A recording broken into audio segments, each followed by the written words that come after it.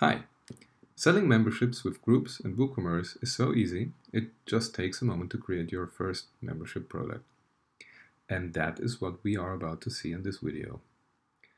For this, uh, we need to have WooCommerce, Groups, and Groups WooCommerce installed and activated. In case you haven't seen the installation video yet, Groups WooCommerce is a premium extension sold exclusively on WooCommerce.com. I will first create a group called Premium. The product I'm about to add will assign the customer to the Premium group when an order for it is placed and completed. So to create the Premium group, let's go to Groups and click New Group.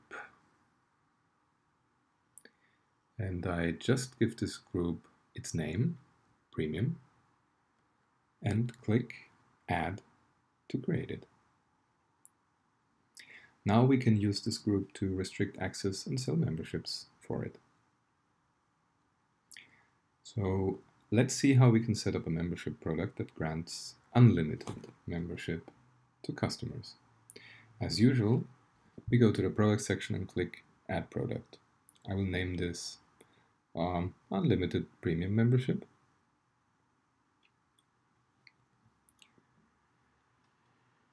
And give it a simple description like this here.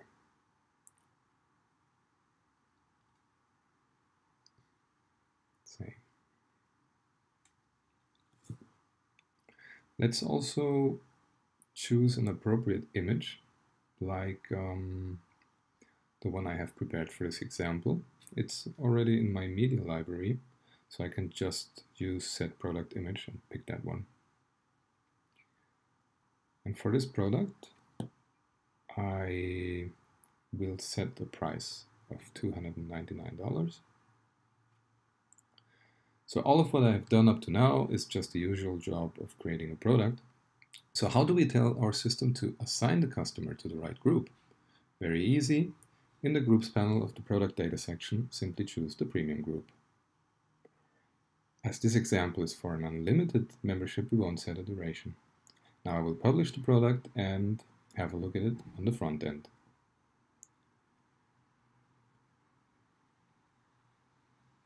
Well, that was quick and easy, right?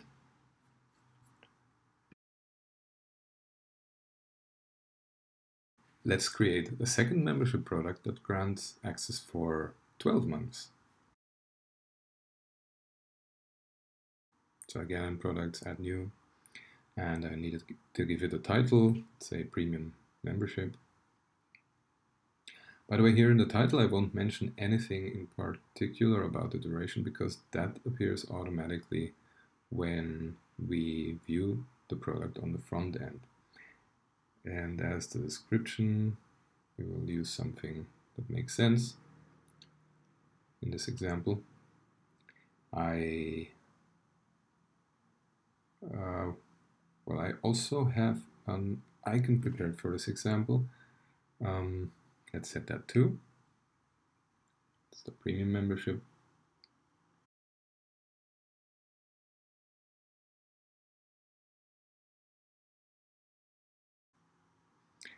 And well, the price for this one will be $99. Okay, so and as before, we need to choose the premium group.